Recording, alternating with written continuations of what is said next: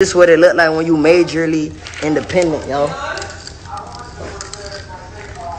We majorly independent. And what's good? I own my masters. I own my masters. Shout out Empire. I own my masters. Uh-huh. One thing about owning your masters, you look like this during the pandemic. Shout out Empire. Hey, you dumbass niggas. On my mama life, I turned down five million dollars to earn so I can so I can have my masters. You dumbass niggas. Yee, yee, Jack. Yee, Jack. Yee, Jack.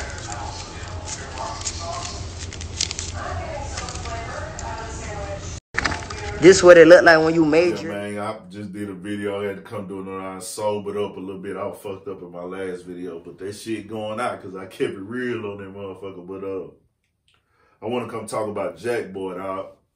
Jackboy, that nigga doing his motherfucking thing right now, dog. Um, you know, he spoke on something that's really important to me in the game, and when I talk and do my like shows and shit. I like giving information. If you follow me, you know that. I love to talk shit. I love to get information.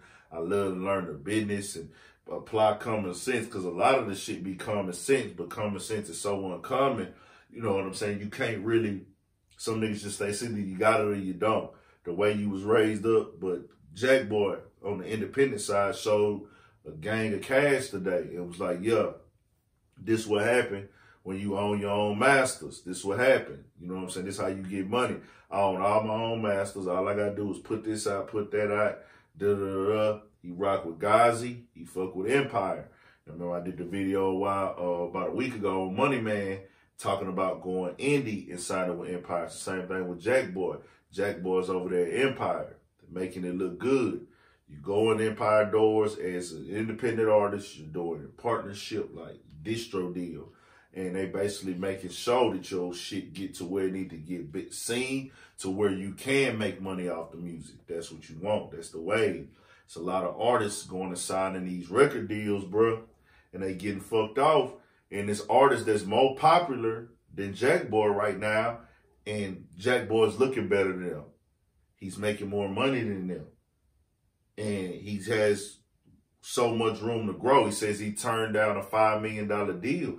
And bro, if you know the game, if he already was making money with Empire and somebody offered him that, if he was already on Empire Road, because he's been on Empire for a minute. So if if Jackboy was already on Empire and he saw what the deals were offering, the five million, but hey, I gotta pay this much back. So much of the money is this, this, this, and this and that, and I probably gotta sell this much, much to get this much off of it. But hey, I know I just did an independent deal with Ghazi, and nigga, if I weigh it out in the long run, I'm gonna make more money over here being independent with uh, Empire Records distribution as opposed to going over here and signing this shit away with Atlantic with all these gray area shit going on. It's always gonna be gray area in any contract you sign. Just know that. But all this weirdo shit on the back end and this and that and percentage of this and y'all want this much off the merch as opposed to me, I go over here, nigga,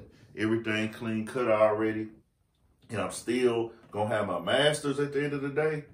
That's the difference in the rap game. So you just gotta see which one work best for you. But shout out to Jackboy, dog. I fuck with that nigga like tough, man. Like I really be jamming Jackboy shit. If you follow the small blog page, uh, Urban Politicians TV, just or not not my personal, the small page. If you follow that bitch, you know Jackboy get posted a lot on there because I'm watching that nigga grow as an artist, man. Like, I always thought when I first heard Grimace freestyle, I was like, that shit was insane. Like, when they first dropped that bitch, that Grimace freestyle, I was like, this shit insane. Just the style, how he was in there bopping with his niggas in the studio. Shit was real raw and uncut. If you follow me, you already know I'm a Kodak Black fan. So, of course, uh, I'm already going to take a look at Jackboy. So, you know, after that, I was like, man, this nigga got something. So then I kept following, following, and I noticed he was entertaining as fuck. I'm like, this nigga funny him up. But the music started getting better and better and better. And now he's steady finding himself as an artist, playing with these melodies. playing with the flows, the way that he deliver the music now. I see it. it he ain't. That's why he looking like that. The image is cleaned up. He dripping every day in designer.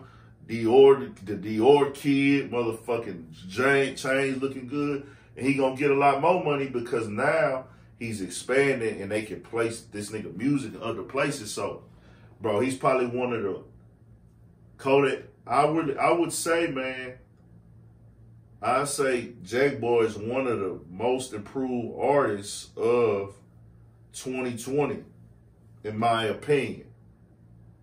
Jackboy is one of the most improved artists of 2020. Just my just my opinion. I, I, that's just me. I feel like he one of for sure. Like the growth, the image, the style, everything he got going on, and playing with these melodies and harmonizing as far as where he was. I, I think he one of the most improved man. So he finna take it to the next level. All Jackboy need is that one hit record, and it's coming. Jackboy hit record coming for shit show. That whole coming soon. I would just say a lot of times you can't. I know what he's saying because I die. I break it down, listen to it. If he come on that bitch and just be sharp with them words, come with a cool little melodic hit, where he come real sharp with the words and just talk his same shit to where like the kids can kind of repeat it. It can be, you know what I'm saying? That's what's gonna go for a hit for him. That's what I think takes him to another statue because he already got street hits. You feel me? The hood, and it don't gotta be a commercial hit, but I'm saying a little kind of like not a commercial, still street and uncut, but have like a melodic, simple, catchy hook with it. And, once he do that, it's going up for, for, for motherfucking Jackboy. It is what it is. He gonna be good regardless. I'm just saying with a sky him up even more. But that nigga great though, dog. Like Jackboy gonna go down as one of the greats, man. For real. I'm on him. Shit show, man. Shout out to the whole Florida. Everybody out there, Florida got some motherfucking talent.